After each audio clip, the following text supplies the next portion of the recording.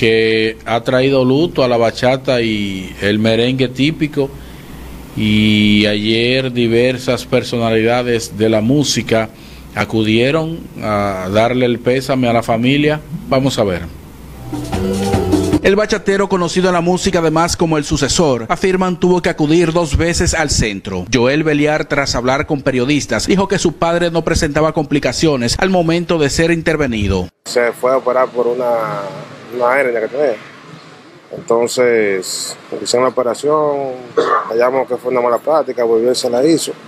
Y ahí fue que, de ahí para acá fue que todo se complicó. Que fue algo Ah, está en cosas de abogado, porque fue algo directamente de la misma clínica. No fue, él llegó muy sano de salud, había mucho análisis, muchas cosas que llegan bien. Y él nunca sufrió de nada, ni una gripe, nada. Y, en la clínica explica le informaron que su padre murió tras contaminarse con una bacteria, versión que a los familiares no le convence. Para nosotros nos declaran otra cosa, dicen que fue un infarto, ¿sabes?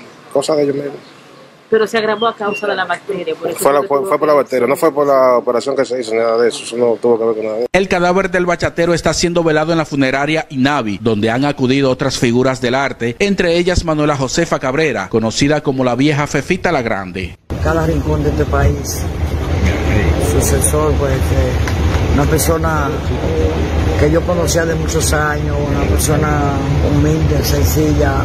¿Sabe que Perdimos un hombre compositor, cantante, amigo, bueno de todo. Hay muchas cosas que hablar de él. Un aplauso pido para él porque eso es todo.